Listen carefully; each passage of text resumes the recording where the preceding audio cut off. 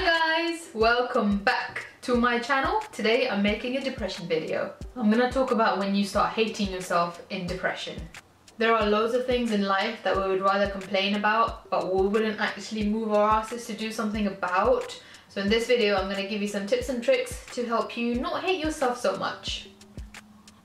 I'm also gonna talk about the cycle of hatred, depression, and unhappiness and how each of this vicious cycle will just continue until you actually break it. Firstly, you need to analyze the things that make you unhappy. Make a list of those things.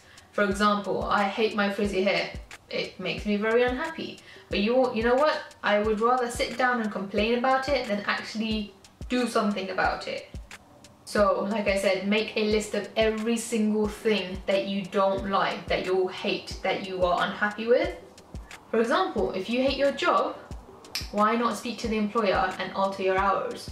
Or change the job, or you know, reduce the hours, or maybe work from home, or you know, just make some sort of altercation with your job so that it's not so hard on you. Another thing that I hate is getting to work late. And every time I'm late, I hate myself for being late. And I say, next time I'm not gonna be late. And what happens next time? I'm late. So with this, literally what you have to do is make an alarm and when it goes off, you have to leave the house. Or if you think that's not gonna work, make an alarm for 10 minutes before that alarm will go off so that you know in 10 minutes you need to get your ass outside of the house and be on your way to work.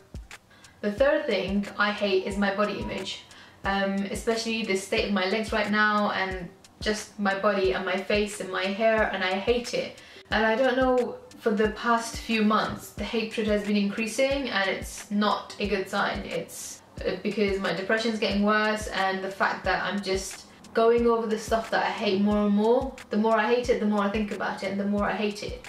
And that just continues, it's just escalating. So what I'm gonna do for my face is do masks at least once or twice a week. For my frizzy hair, I'm gonna do masks at least once a week. For my body, I'm gonna do masks and I'm gonna start working out. That's it, literally. If you wanna complain about it, if you don't like something, you have to do something about it. There's no point sitting down and complaining about it. One, it's gonna make your depression worse. Two, it's gonna make you feel like poo-poo. And three, you're just gonna be wasting time, which is what I've been doing for the past few months, to be honest. The other thing you need to do is ask yourself why you hate those things. What is the reason behind you hating your body? So with me, it's it's a deep question and it's it's one of those questions where you really have to think about the answer. You have to dig deep and find out the root, the psychological cause of that hatred and how it even got to that place. That will take time, that's fine, as long as you sit down and you think about why you hate yourself. When you figure that out, you have to accept it and move on by accept it, I mean like with my frizzy hair, I have to accept it. There's nothing I can do about it. Well, apart from shaving it, but then obviously that's not an option. So either accept it and move on. There's no point sitting and complaining about it. There's, it's just not gonna work. And I've already touched on this, but you need to figure out solutions. Like when you make the list of the things you don't like, next to them, make a column, or is it a row, of the solutions. So if it's your body, start exercising, start eating clean, drink more water. If it's with your job, reduce the hours or do more hours or change your job or instead of doing office job, do something else. And that's my tips and tricks on hating yourself in depression and how to not hate yourself so much.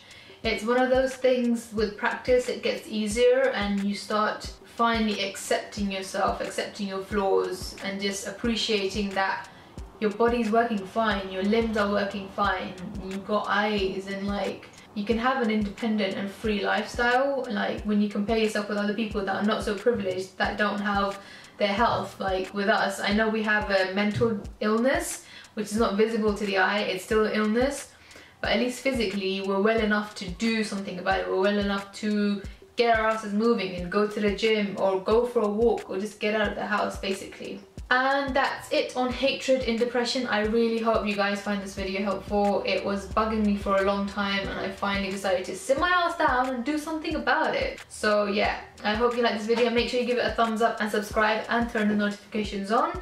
And I will see you in the next video. Take care. Bye!